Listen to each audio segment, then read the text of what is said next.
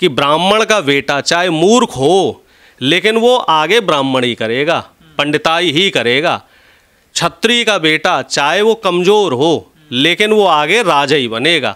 तो ये सामाजिक जो ताना बाना है, ये जो पोंगा पंडिताई समाज में शुरू हुई है, ये जो धर्म के ठेकेदार हैं, इन लोगों ने करी है।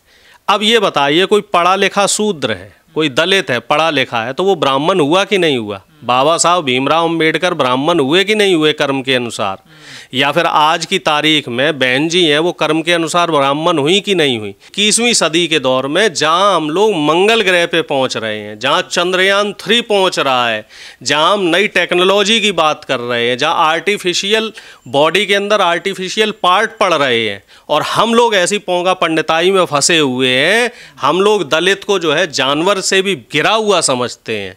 कुत्ता पालेंगे कुत्ते को पनीर खिलाएँगे लेकिन साहब आदमी के ऊपर पेशाब करेंगे। तो आप ऐसे ही कोई ब्राह्मण दुबे तिवारी मिश्रा जी है किसी भी दलित भाई के ऊपर पेशाब करते रहेंगे। दलितों को अभी भी वहाँ बराबर नहीं बैठने देते हैं। जो मनवादी विचारधारा के लोग हैं जो आरएसएस की विचारधारा के जो लोग हैं ये लोग दलित शोषित और वंचित समाज का शोषण करेंगे ही करेंगे। सरकारें इनके खिलाफ कोई एक्शन नहीं लेगी। ये हमारे लिए शर्म की बात है कि इस तरह की घटनाएँ इस समाज में हो रही हैं। भाई ये बताइए, कहीं दलित को जो है आप मुँह पे पेशाब कर रहे हो? कहीं दलित को आप जूतों से पीट रहे हो? कहीं दलित के जो है जो, अपने जूते पे दलित से से थूका हुआ चटवा रहे हो? कहीं दलित का जो है मूछ रखने पे आप जो है उसको मार दे रहे हो जान से? और कई जगह तो मैंने ऐसी घटनाएँ देखी हैं, जहाँ दलित का आप सर मुड़वा देते हो जरा जरा सी बात को लेके कहीं मुँह उखाड़ देते हो। तो ये कैसे समाज का सृजन बीजेपी कर रही है? दया शंकर सिंह ने पाँच साल पिछली बार जो है मायावती बहन जी के खिलाफ एक आपत्तिजनक टिप्पणी करी। उन्हें पार्टी से बाहर निकाला गया तो उनकी पत्नी को चुनाव लड़वा दिया गया, पत्नी मंत्री बना दी। अब इस बार चूँकि मामला पुराना हो गया था, इस बार दयाशंकर सिंह को चुनाव लड़वा दिया, वो उनको मंत्री बना दिया। अब बताइए कहाँ आप दलितों और शोषितों का जो है सम्मान कर रहे हैं? दयाशंकर ऐसा व्यक्ति था जिसने पूरे दलित समाज की जो हम एक तरीके से कहें बहन जी जो है इस समय आज की डेट में दलित समाज का जो है प्रतिनिधित्व कर रही हैं।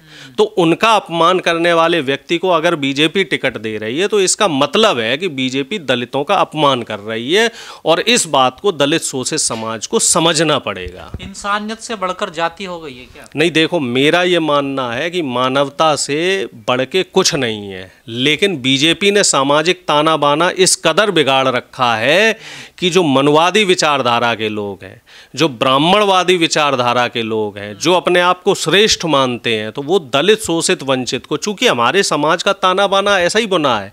समाज पहले से ही चार भागों में रहा है तो कि धर्म ग्रंथ कहते हैं ना श्रेष्ठ तो इसलिए मानते हैं नहीं धर्म ग्रंथ तो जो एग्जैक्ट धर्म ग्रंथ थे वो ये थे कि कर्म के हिसाब से आदमी महान बने। ब्राह्मण कौन होता था? जिसके कर्म अच्छे होते तो जो पढ़ने लिखने में होशियार होता था, वो हो गया साहब ब्राह्मण। छत्री कौन होता था? जो बलशाली होता था। वैश्य कौन था? जो व्यापार में तेज था। और शूद्र किसे बोला गया था? भाई, जो मंद बुद्धि है या जो कुछ कर नहीं सकता तो उसको जो है, खेती किस नहीं करवाओ? समाज में मेला ढोने का काम करवाओ। अब हुआ क्या कि ब्राह्मण का बेटा चाहे मूर्ख हो, लेकिन वो आगे ब्राह्मण ही करेगा, पंडिताई ही करेगा। छत्री का बेटा, चाहे वो कमज़ोर हो, लेकिन वो आगे राजा ही बनेगा। तो ये सामाजिक जो ताना बाना है, ये जो पोंगा पंडिताई समाज में शुरू हुई है, ये जो धर्म के ठेकेदार हैं, इन लोगों ने करी है। अब ये बताइए, कोई पढ़ा लिखा शूद्र है, कोई दलित है पढ़ा लिखा है तो वो ब्राह्मण हुआ कि नहीं हुआ? बाबा साहब भीमराव अंबेडकर ब्राह्मण हुए कि नहीं हुए कर्म के अनुसार? या फिर आज की तारीख में बहन जी हैं, वो कर्म के अनुसार ब्राह्मण हुई कि नहीं हुई? चंद्रशेखर जो है, वो कर्म के हिसाब से आज़ाद समाज पार्टी जो चला रहे हैं, वो ब्राह्मण हुए कि नहीं हुए? लेकिन समाज के जो ठेकेदार हैं, वो इन्हें बराबरी पे मानने को तैयार नहीं है। तो जो ये जातीय विषमता बनाई गई है, और यही वो लोग हैं जो संविधान का विरोध कर रहे हैं, यही वो जो लोग हैं, ये लोग आरक्षण का विरोध कर रहे हैं, कह रहे हैं, साहब, आरक्षण जो है, वो नहीं होना चाहिए। और जबकि इनको आरक्षण की मूल भावना नहीं पता है कि आरक्षण कोई आर्थिक आधार पर नहीं दिया गया। आरक्षण इसलिए दिया गया कि इन लोगों का आपने पाँच हज़ार साल शोषण किया। इनकी जो पीठ पे झाड़ू बंधवाई आपने, साहब, कि इनकी जो जहाँ जहाँ पे इनके कदम पड़ेंगे तो वो ज़मीन अपवित्र हो जाएगी। इनकी साहब परछाई से आपको पाप लग जाएगा।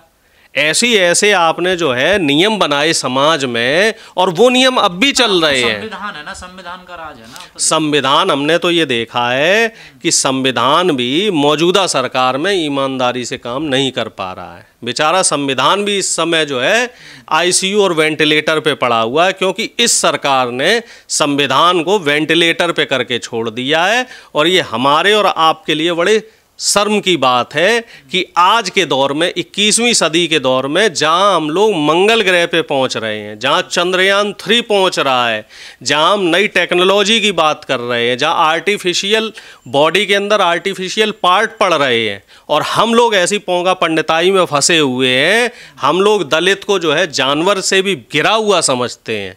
कुत्ता पालेंगे कुत्ते को पनीर खिलाएँगे लेकिन साहब आदमी के ऊपर पेशाब करेंगे। तो आप क्या संदेश देना बीजेपी तो संविधान दिवस मना रही है आप कह रहे हैं उन्होंने खराब कर दिया बीजेपी संविधान दिवस सिर्फ़ और सिर्फ़ अपनी सरकार बचाने के लिए मना रही है। अगर बीजेपी की चले तो वो तो मनु दिवस मनाए।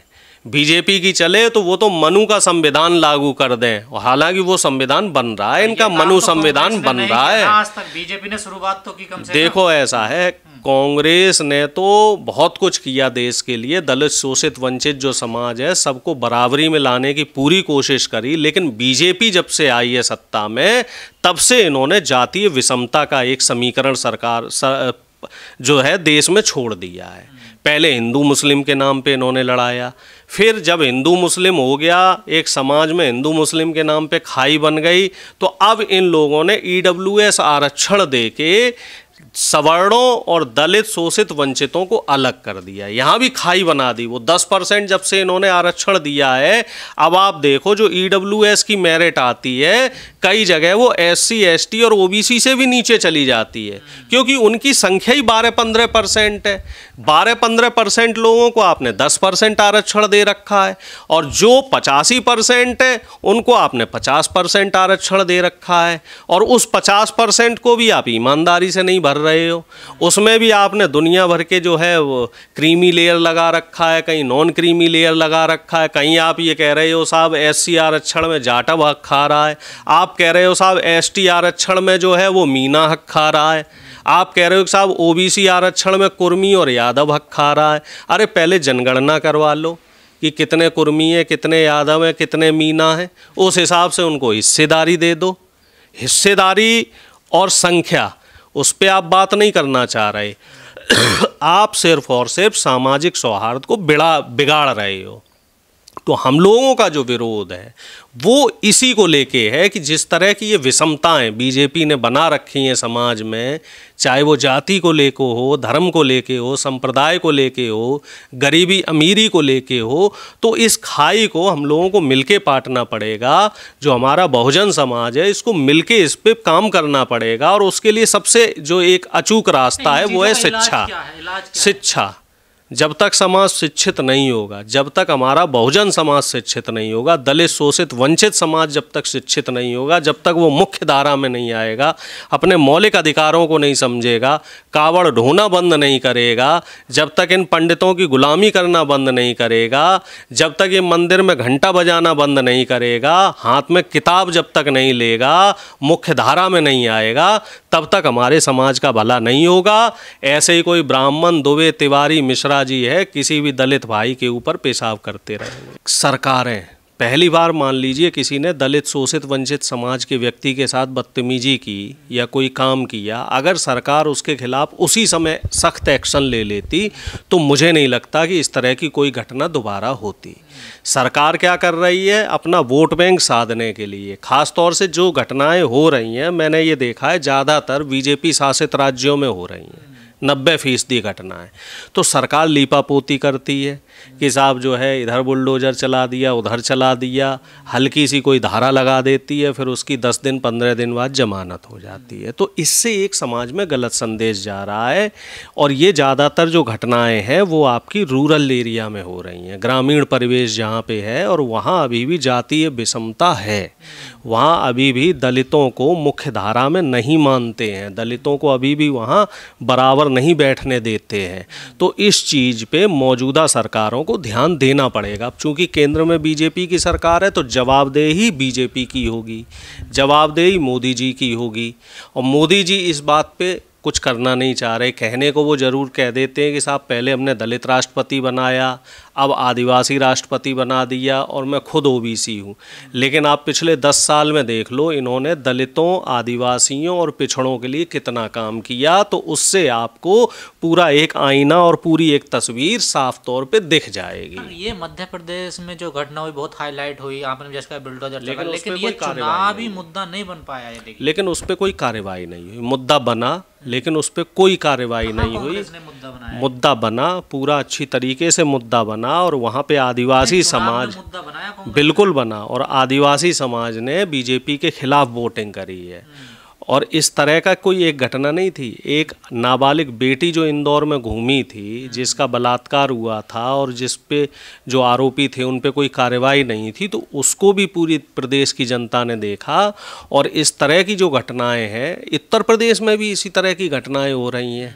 चाहे उत्तर प्रदेश हो, चाहे मध्य प्रदेश हो, दोनों जगह डबल इंजन की सरकार रही है और दोनों जगह इस तरह की जो घटनाएँ हो रही हैं, वो साफ़ तौर पे एक इंडिकेशन ये दे रहे हैं कि बीजेपी के शासनकाल में जो मनवादी विचारधारा के लोग हैं, जो आरएसएस की विचारधारा के जो लोग हैं, ये लोग दलित, शोषित और वंचित समाज का शोषण करेंगे ही करेंगे। सरकारें इनके खिलाफ कोई एक्शन नहीं लेगी। सरकारें जो है, चाहे प्रशासन हो, चाहे शासन हो, ये निकम्मा है और मून मूक बन के बैठा हुआ अब आप ये बताइए, इतनी बड़ी घटना हो गई, लेकिन उसके बाद भी प्रशासन की तरफ़ से कोई सख्त कार्रवाई नहीं हो रही।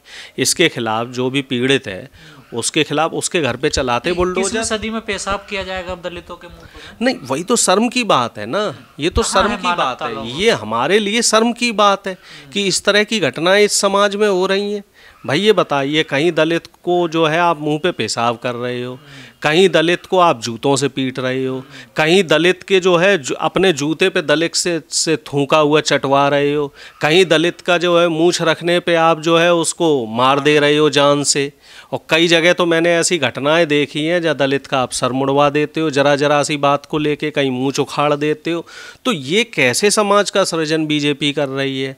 और ऐसे करने वाले लोगों को सरकार इनाम दे देती है। हाँ यही तो दुर्भाग्य है ना जो ऐसी घटनाएँ करती हैं उसका समर्थन में लोग ऐसे लोग सरकार का समर्थन सरकार की तरफ़ से ऐसे लोगों को समर्थन मिलता है। सरकार ने समाज के लोग भी समर्थन करते हैं समाज तो देखो जैसे सरकार चलेगी उसी हिसाब से जो मनवादी विचारधारा के लोग हैं ये लोग उसी हिसाब से समाज को चलाएँगे। अब ये हमारे लिए दुर्भाग्य की बात है कि समाज को गलत दिशा में सरकार लेके जा रही है। कायदे में सरकार को ऐसे लोगों के खिलाफ सख्त से सख्त कार्रवाई करनी चाहिए, लेकिन सरकार क्या कर रही है? सरकार एक गलत संदेश दे देती है कि नहीं, आप करो। आप जो कार्रवाई करना चाहते हो, आप करो। हम आपके पीछे जो है ढांढस बनाने के लिए खड़े अब बताइए कुलदीप सेंगर जैसे लोग चिन्मयानंद जैसे लोग इसके अलावा ब्रजभूषण शरण सिंह जैसे लोग और जो मध्य प्रदेश की हम बात करें तो वहाँ पे जो शुक्ला जी हैं वो भी चुनाव लड़ रहे हैं। जबकि ऐसे लोगों को चुनाव लड़ने से प्रतिबंधित कर देना चाहिए। टी राजा जैसे लोग तेलंगाना में उनको भी चुनाव लड़वाया गया और उन्होंने भी इस तरह की हरकत करी थी। ऐसे ही उत्तर प्रदेश में